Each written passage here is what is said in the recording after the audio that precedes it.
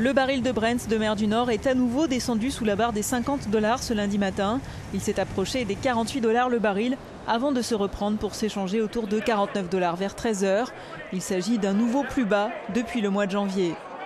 Les cours du Brent ont chuté de 18% en juillet à cause d'une offre surabondante et d'un ralentissement de l'activité en Chine. Si les importations de pétrole y ont augmenté de plus de 4% en juillet par rapport à juin, la Chine affiche toutefois une série de mauvais indicateurs, et notamment en matière d'exportation. Alors que le brut léger américain a quant à lui perdu 20% en juillet, l'Organisation des pays exportateurs de pétrole, l'OPEP, a fait savoir qu'elle ne comptait pas organiser de réunion d'urgence sur la baisse des cours pour le moment.